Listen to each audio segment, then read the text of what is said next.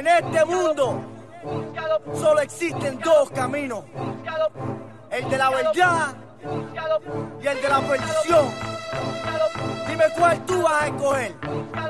Mientras lo piensas, yo me mantendré buscando de él.